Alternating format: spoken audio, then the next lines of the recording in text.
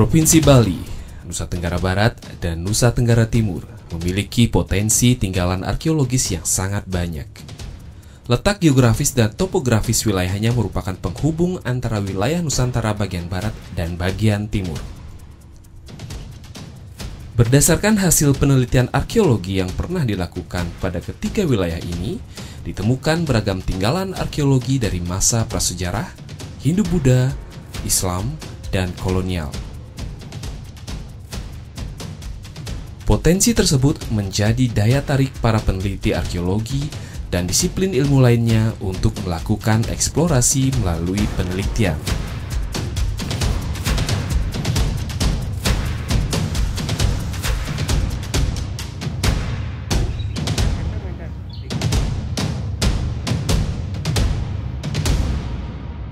Mengingat potensi tinggalan arkeologi yang ada di wilayah Bali, Nusa Tenggara Barat, dan Nusa Tenggara Timur, pada tahun 1978 dibentuklah proyek penelitian Purbakala Bali yang merupakan cikal bakal Balai Arkeologi Denpasar. Berdasarkan keputusan Menteri Pendidikan dan Kebudayaan yaitu nomor 0207 garing 0 garing 1978 Balai Arkeologi Denpasar diresmikan pada tanggal 19 Agustus tahun 1980 dengan wilayah kerja Bali Nusa Tenggara Barat, dan Nusa Tenggara Timur. Pada tahun 2015, berdasarkan Peraturan Menteri Pendidikan dan Kebudayaan Nomor 27 Tahun 2015, Balai Arkeologi Denpasar berganti nama menjadi Balai Arkeologi Bali, yang selanjutnya lebih dikenal dengan nama Balar Bali. Kantor Balai Arkeologi Bali berada di Jalan Raya Sesetan nomor 80 Denpasar, Bali.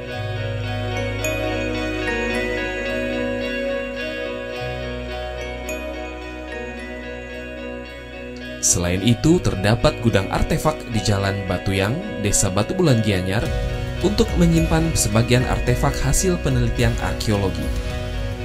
Visi Balai Arkeologi Bali yaitu terwujudnya lembaga penelitian yang mampu mengembangkan dan memasyarakatkan arkeologi untuk kemajuan ilmu pengetahuan.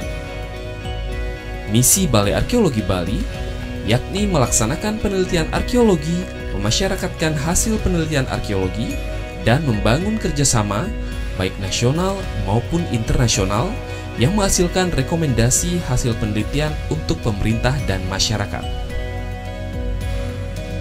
Om Swastiastu. Assalamualaikum warahmatullahi wabarakatuh. Namo Buddhaya. Salam sejahtera bagi kita semua. Rahayu, salam kebajikan. Saya Igusti Made Suarbawo, Kepala Balai Arkeologi Provinsi Bali.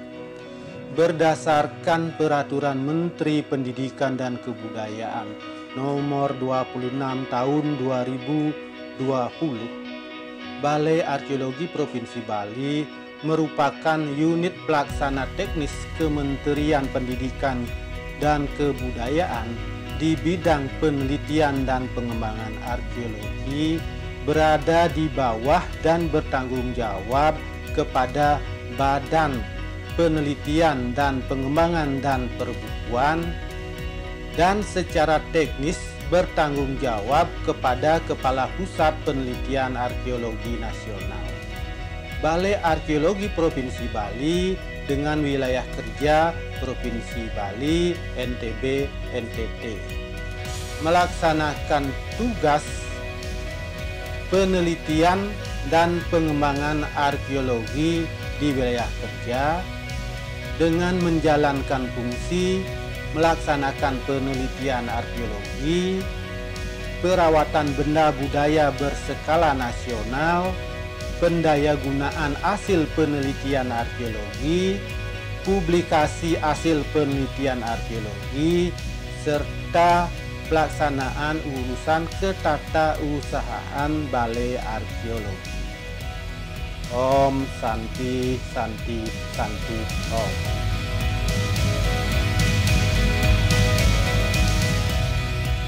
Kegiatan penelitian di Balai Arkeologi Bali terdiri dari survei dan ekskavasi.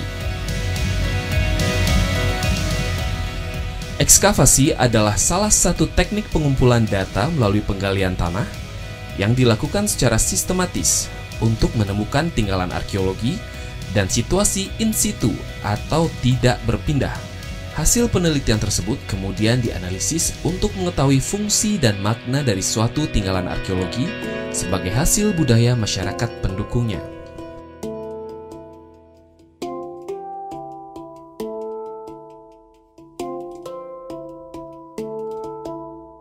Balai Arkeologi Bali dalam pelaksanaan tugas dan fungsinya didukung oleh 46 orang pegawai yang terdiri dari jabatan fungsional umum dan fungsional peneliti. Struktur organisasi Balai Arkeologi Bali terdiri dari dua jabatan struktural, yaitu Kepala Balai dan Kepala Subbagian Tata Usaha.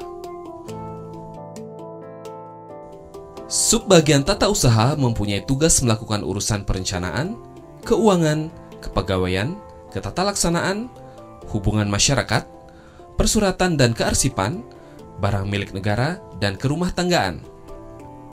Sebagai sebuah lembaga penelitian, hasil-hasil penelitian Balai Arkeologi Bali telah dipublikasikan ke masyarakat luas melalui terbitan buku, jurnal ilmiah terakreditasi, dan sosial media. Untuk menunjang kegiatan penelitian, Balai Arkeologi Bali dilengkapi dengan perpustakaan, ruang pameran, dan ruang laboratorium.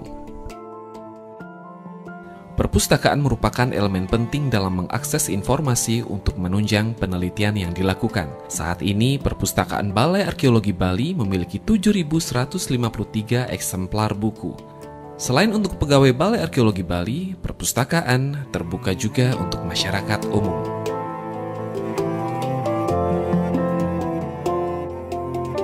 Balai Arkeologi Bali memiliki ruang pameran untuk menampilkan koleksi hasil-hasil penelitian yang juga terbuka untuk umum. Koleksi dari hasil penelitian terdiri atas gerabah, kerang, benda perunggu, manik-manik, artefak batu, uang kepeng, replika prasasti tembaga, arca, dan berbagai bentuk keramik, baik utuh maupun fragmentaris, serta tinggalan lainnya.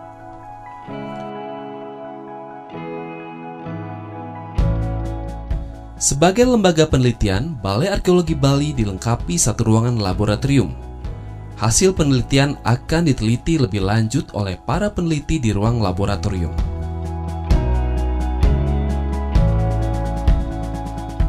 Hasil-hasil penelitian arkeologi kemudian dipublikasikan melalui berbagai kegiatan seperti kegiatan rumah peradaban yang telah dilaksanakan di antaranya di Rumah Peradaban Badung, Rumah Peradaban Kalibubuk, Rumah Peradaban Sumba, Rumah Peradaban Gilimanuk, Rumah Peradaban Dompu, dan Rumah Peradaban Sanggar Bima. Selain ruang pameran, Balai Arkeologi Bali juga memiliki kegiatan pameran arkeologi yang dilakukan setiap tahunnya.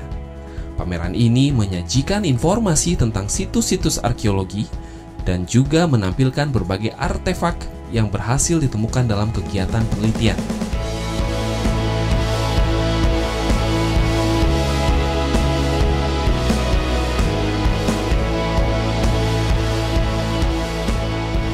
Kegiatan penelitian yang telah dilakukan akan dievaluasi secara berkala setiap tahunnya.